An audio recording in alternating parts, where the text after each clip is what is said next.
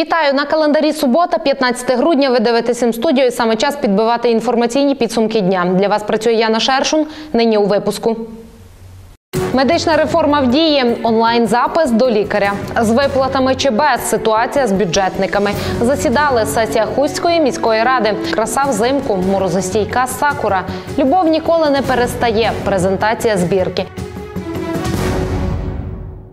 Нині у Софіївському соборі у Києві обрали предстоятеля єдиної помісної церкви. Участь в ньому взяли 192 делегати. Найбільше 126 священнослужителів було від Української православної церкви Київського патріархату, 36 представників Української автокефальної православної церкви і 30 Української православної церкви Московського патріархату. До слова, в Українській православній церкві Московського патріархату заявили, що не будуть перешкоджати проведенню об'єднавчого собору щодо створення єдиної помісної православної церкви.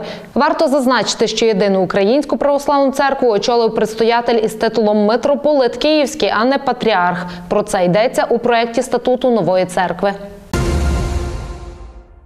А далі ще про одну новину, яку я та мої колеги не могли не задати у вечірньому випуску програми Час 15 грудня.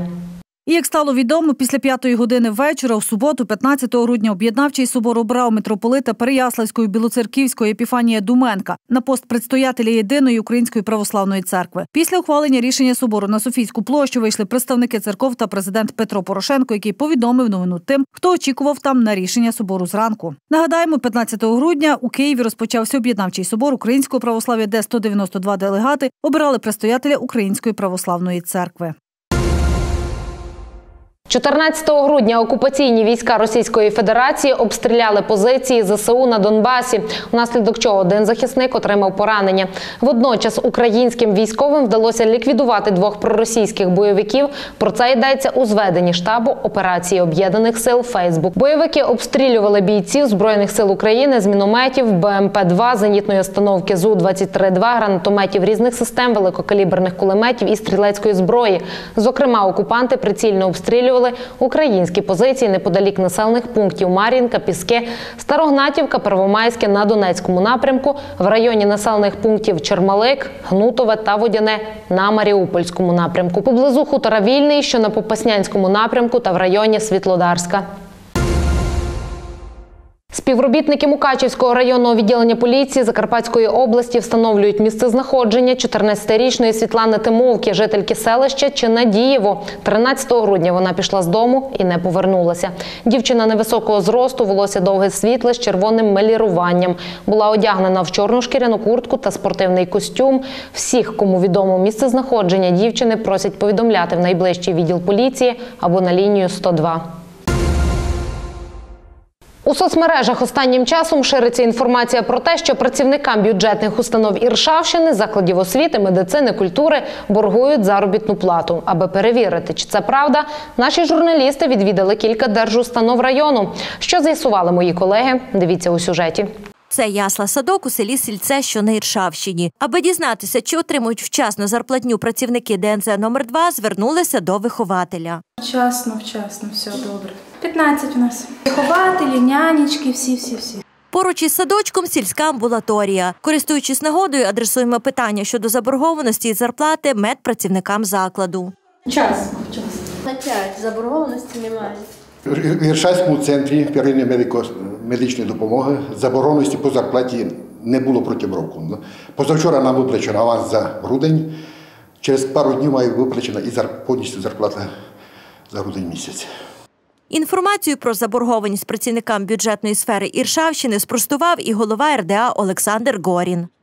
На сегодняшний день у нас уже ситуация уже выровнялась. Э, Были у нас певные проблемы по бюджетникам. Это и техперсонал по школам, это и ДНЗ. Вот. На, на сегодняшний день, то есть, в принципе, у нас, слава богу, и произошла медицинская субвенция, и мы эти вопросы фактически позакрывали. То есть до конца года по техперсоналу, по освете, по работникам детских садов, по медработникам у нас все вопросы полностью закрыты до конца года. Э, Что еще сейчас в процессе работы? Это у нас э, работники культуры, это заработная плата сільських голів і терцентр. Наразі керівництво області про проблему знає. До кінця місяця обіцяли вирішити ці питання, аби до настання новорічно-різдвяних свят заборгованість погасили. У Хусті пройшло дев'яте засідання восьмої сесії міської ради. Як і на більшості сесій, в цей період серед питань порядку денного прийняття бюджету на 2019 рік. Чи ухвалили основний фінансовий документ Хуста на наступний рік? Та про інші рішення міських обранців знають наші журналісти. Традиційно в кінці року звітує міський голова. В його звіті йшлося про здійснення державної регуляторної політики Хуською міською радою та її виконавчим комітетом у сфері господарської діяльності на 2018 рік. Е, На протязі е, поточного року постійно проводилася робота щодо регулювання господарських відносин між міською владою та суб'єктами господарської діяльності у таких напрямках.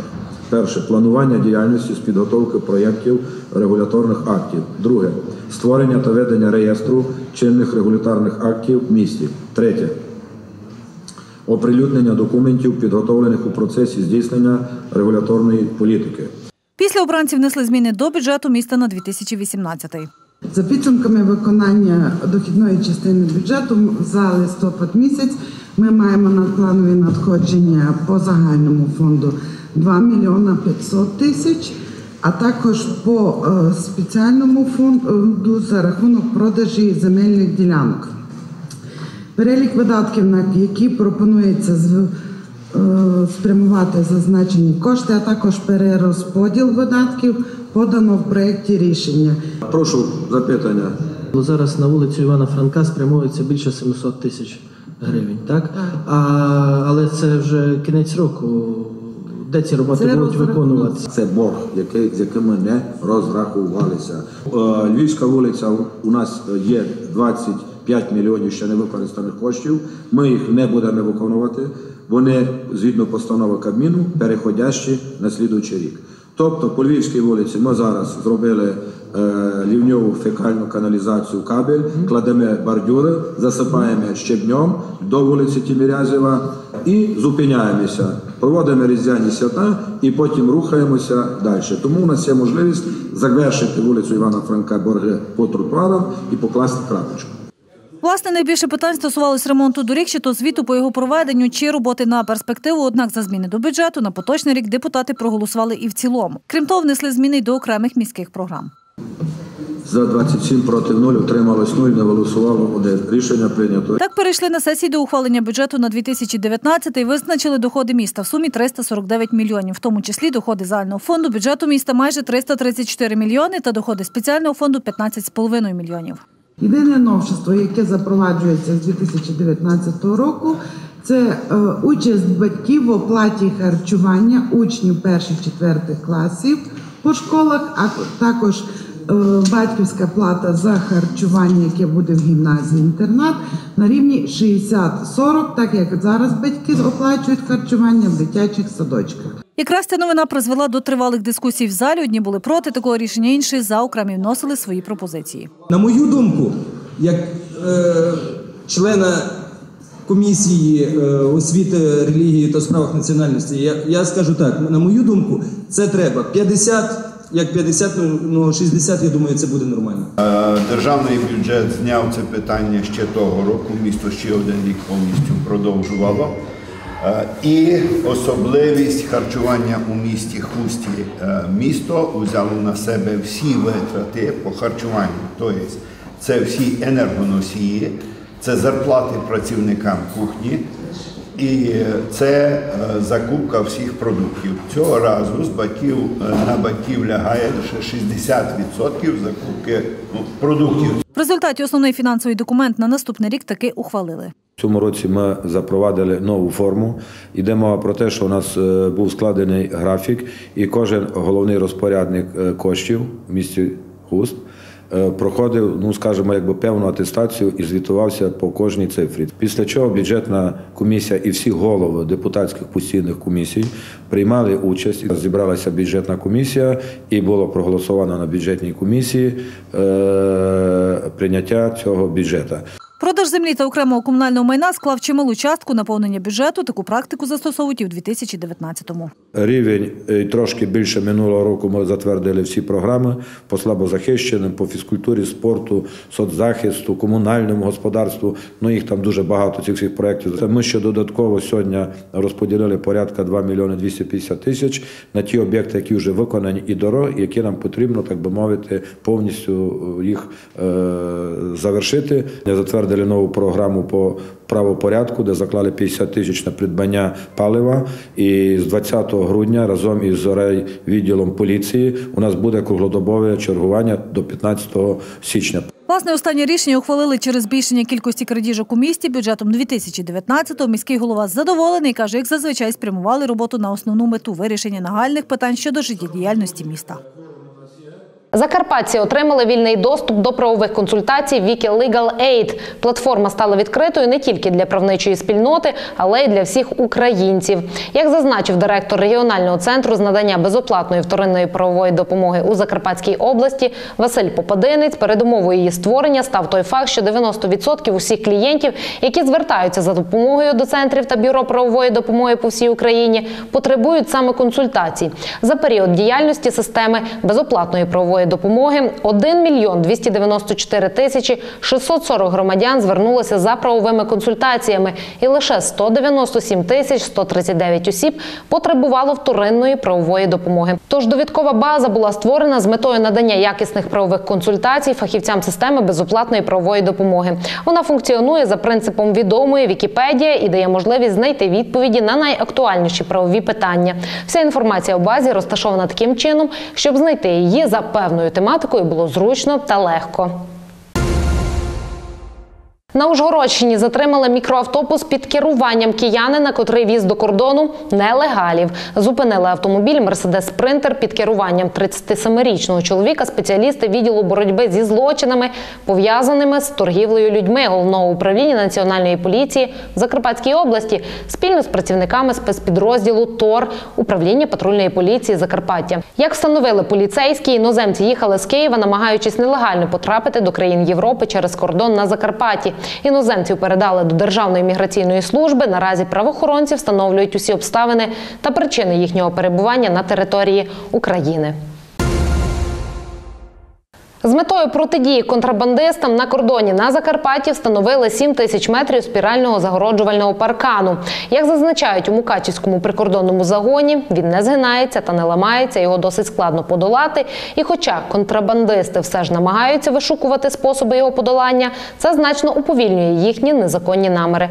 Крім того, окрім паркану, прикордонники облаштовують і інші загородження, серед яких так звані спотикачі, малопомітні перешкоди та інше. Укрзалізниця запускає поїзд Запоріжжя Дніпро Ужгород. Потяг забезпечить сполучення Дніпра, Запоріжжя, а також Білої церкви із Закарпаття. У перший рейс нічний експрес вирушить 16 грудня. Новий маршрут стане потужним імпульсом для розвитку туристичної України. Поїзд буде зупинятись у Львові, Воловці і на станції Мукачево. Вагони у цьому сполученні пройшли капітально-відновлювальний ремонт та графік складений з урахуванням побажань пасажирів. У 2019 році Укрзалізниця підвищить вартість квитків на пасажирські потяги і на вантажоперевезення. На внутрішні пасажирські перевезення ціни зростуть з 1 квітня на 12% і з 1 жовтня на 12%. На приміські сполучення підвищення вартості не передбачено. Міжнародні маршрути здорожчають з 1 квітня в середньому на 13-21% в залежності від категорії поїзда і типу вагона. Також з 1 лютого 2019 року року передбачено підвищення тарифу на вантажоперевезення на 16%.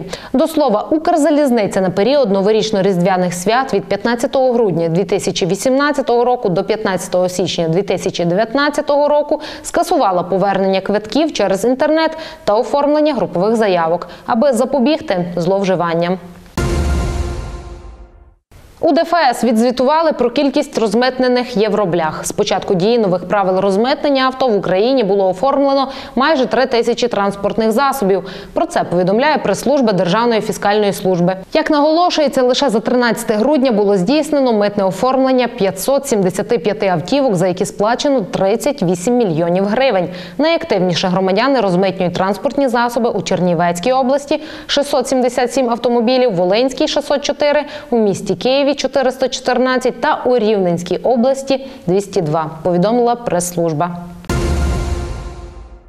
Мукачівщина перший регіон на Закарпатті, у якому запровадили національну електронну систему охорони здоров'я і Health. Три тижні 84 медичних працівників, лікарі та реєстратори закладів первинної медичної допомоги Мукачівського району проходили навчання і вже почали працювати із пацієнтами у режимі онлайн. Як функціонуватиме система, детальніше розкажуть мої колеги. Три тижні лікарі та реєстратори закладів первинної медичної допомоги Мукачівського району проходили навчання, щоб мати змогу працювати за національною електронною системою охорони здоров'я. І от від сьогодні Мукачівський район став першим у Закарпатській області, де запущено систему ЄХЕЛС. Три неділі тому назад ми починали власне запуск цієї системи в районі. Е, Почали навчання з реєстраторів це середнього медичного персоналу, і далі всі лікарі, які задіяні в первинці з декларування населення, пройшли навчання. Це три неділі навчання, 84 медичних працівника. І після закінчення навчання на протязі цілої неділі ми їздили в заклади охорони здоров'я амбулаторні, де підключали систему до Києва. Нова електронна система дає змогу пацієнтам не стояти в чергах, а записуватись на прийом до лікаря у онлайн режимі на зручні для нього день та час. У нас є повністю інформація про розклад лікаря, про місце його прийому, номер телефону, за яким до нього можна звернутися, і його фотографія, щоб чітко пацієнт розумів, до кого, е, як, коли він може звернутися. Щоб записатись на прийом до лікаря онлайн, варто зареєструватись у базі системи ЄХЕЛС. Це можна зробити на сайті проектного офісу ЄХЕЛС через комп'ютер або смартфон. Якщо пацієнт не може зробити цього самотужки, він має змогу звернутися за допомогою до реєстратора лікарні. Перш за все, людина приходить перший раз із паспортом, із своїми даними, персональними даними, які є в обробці. Я їх, якщо беру, то я даю обов'язково, щоб підписали паперову згоду. Якщо її немає, я не можу, не маю права брати і записувати на прийом до лікаря даного пацієнта. Перехід на онлайн режим запису спростить процес надання первинної допомоги не лише для пацієнта, а й для лікаря. Це веде лише до одного до упорядочення. І зрозуміло, що ну я не хочу сказати, е, що всі пацієнти одинакові, але все ж таки поставити на місце, що от тоді прийом, тоді е, прийдеш, тоді ти то пунктуальність буде, по крайній мірі. Введення електронної системи е, дасть можливість скоротити, по-перше, е, час на ведення паперових е, е, документації. Е, По-друге, з'являється можливість для пацієнта, звичайно, от е, що було сказано безпосередньо зараз електронного запису. Лікарі бачать і мінуси електронної системи, необхідність наявності інтернету. Адже у Мукачівському районі є гірські села, у яких є неабияка проблема із інтернет-покриттям.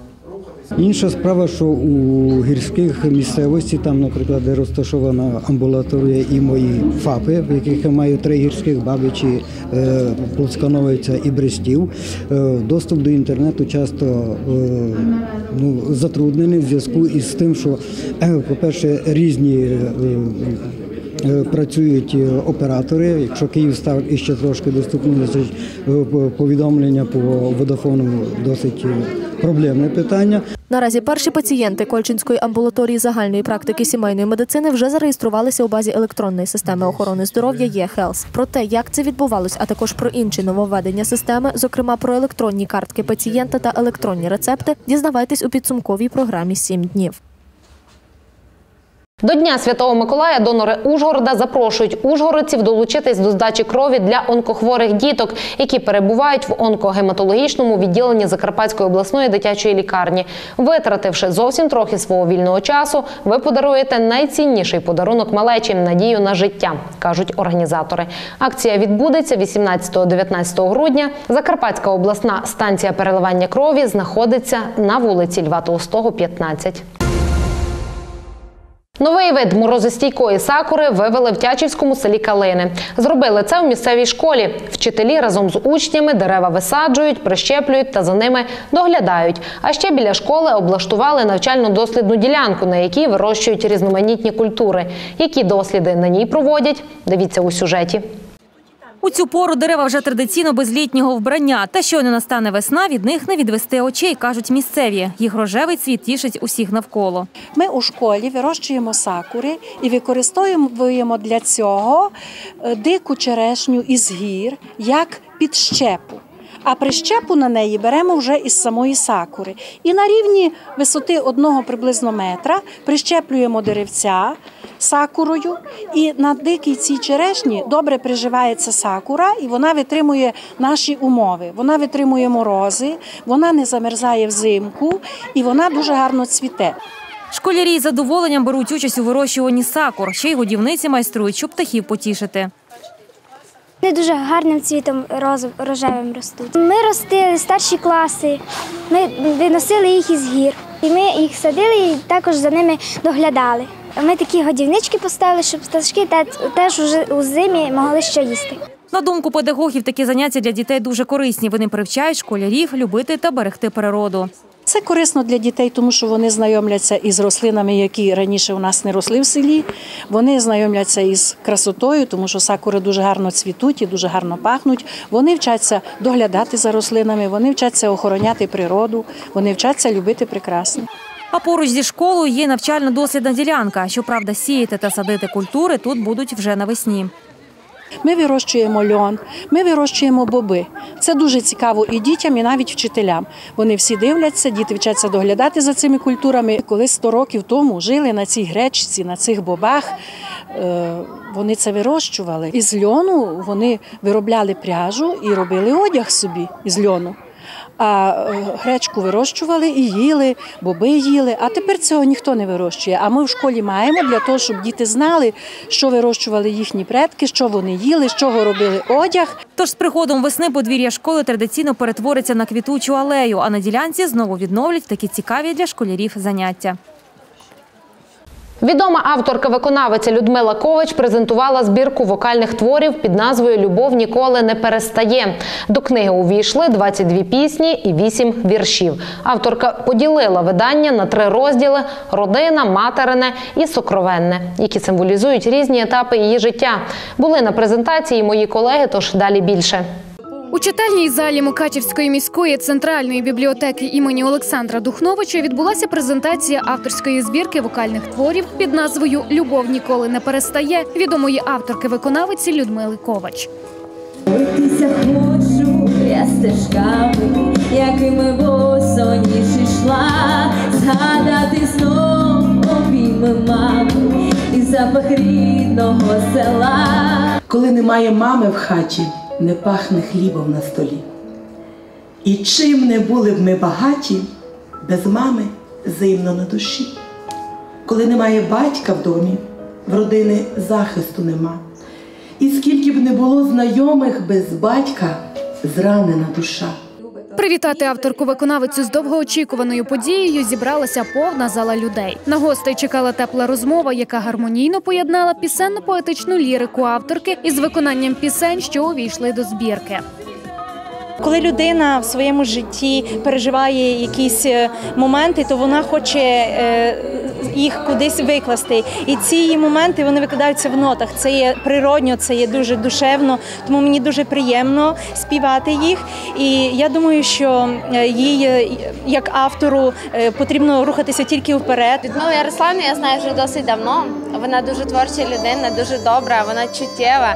Кожна пісня дійсно якась така, що от коли її слухаєш, хочеться відчути всі ці емоції, весь сенс пісні. Вона передає і очима, і душею. І це дуже круто, адже е, ну не, не кожен співак може так виконати пісні, як вона. Над збіркою працювала ціла команда людей, яка, за словами поетеси, приклала великі спільні зусилля для того, щоб книга побачила світ.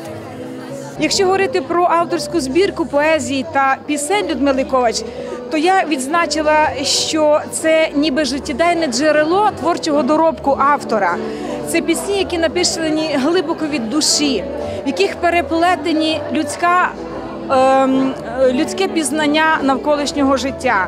Це і доля жінки, це і доля дівчини, це і батьківщина, це і знову ж таки життєдайне джерело отчого дому, рідного порогу. Пані Людмила розповідає, кожен написаний вірш це сповідь. Емоції, які переживала в різні періоди свого життя, майстерно викладала на папері. Тож видання вирішила поділити на три розділи: родина, материне і сокровенне. Сьогодні маю за честь е, презентувати першу свою збірку, яку я назвала Любов ніколи не перестає, адже любов насправді ніколи не перестає. Е, е, Сьогодні на презентації буде представлено декілька пісень, які війшли в збірку. Е, Збірка наповнена авторськими піснями моїми. Вона більше виконавського, вико- виконавського напрямку. Хоча, за словами авторки, її творчий доробок налічує більше 60 віршів, до книги, яку презентує сьогодні, увійшли тільки 22 пісні і 8 віршів. Я пишу з дитинства, і тут е, е, говорити про час просто нереально, правда? Е, Людина, котра пише, вона пише завжди, навіть у сні. Е, насправді в мене більше 60 пісень, але до даної збірки війшли 22 пісні, які були продемонстровані на авторському концерті, концерті який відбувся 1 червня. І е, концерт також мав назву Любов ніколи не перестає. Я так прийняла рішення, хай ті пісні, які вже були презентовані, війдуть до збірочки, і головне для кожного автора залишити по собі слід на землі. Пані Людмила сподівається, що презентована нині збірка ніколи не припадатиме пилюкою на полицях, а завоює прихильність читачів і отримає нове життя у їхньому виконанні. Таким повідомленням я завершую наш інформаційний випуск. А вже завтра у семи днях ви дізнаєтесь про таке. Сепаратистські плакати, кримінальна справа та відповідальність, протести з вимогами, судова описка. Наразі це все більше інформації ви можете знайти на нашому офіційному сайті та на сторінці М-студіо у Фейсбук. Бажаю гарних вихідних. Проведіть їх з М-студіо.